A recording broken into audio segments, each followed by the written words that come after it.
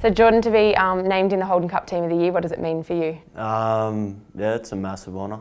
Um, I think at the start of the NYC career, that was sort of a goal. Um, and yeah, to, to actually do it, it's a, um, yeah, a big achievement for me.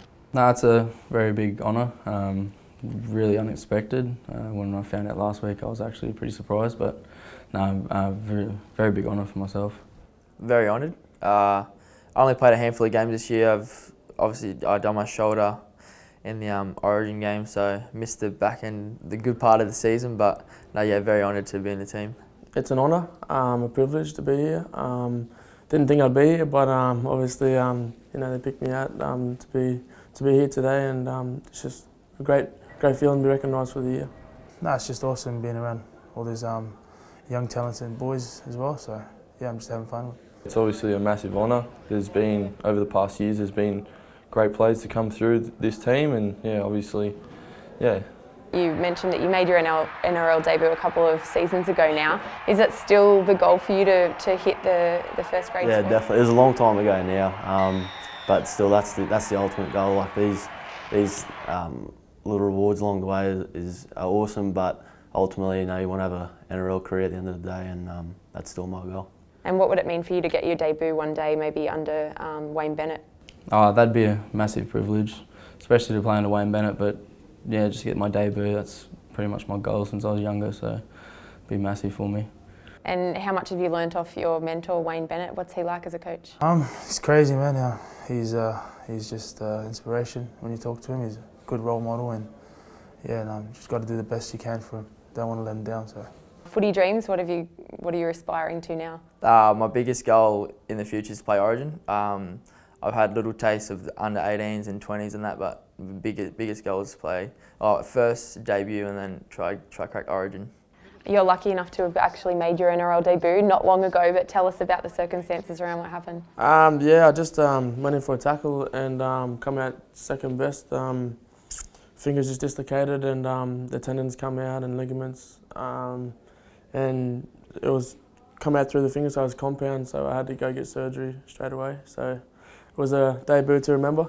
What's it been like achieving your dream, although it was kind of short-lived? Um, it was, I wasn't really nervous. Um, I was confident going into the game. Um, it was just when I went to warm up and it was just the atmosphere, you know, because you got to that, take that chance to look around the field and, and um, yeah, it was just a massive honour going out there and the nerves started kicking in before warm up and yeah, that was good. And you're studying um, outside of footy as well. Tell us a bit about that and how challenging it's been. Yeah, so I do primary education. Um, yeah, it's just about getting the balance, I suppose. I do two subjects and um, managing that all right. It's just about you know scheduling it and preparing beforehand, so it all work it works out with training and. Uh, third year apprentice carpenter. Um, going fourth soon. Uh, work at Stepford Carpentry, so yeah, that's pretty good. The early mornings get me a bit, but nah, it's pretty good. I enjoy doing that sort of stuff, so it's something to look forward to look, um, dropping back to after footy.